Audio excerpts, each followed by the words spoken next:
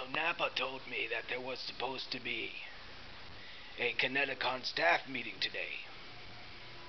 But it seems like no one bothered to show up. Well, Nappa, thanks for wasting my time.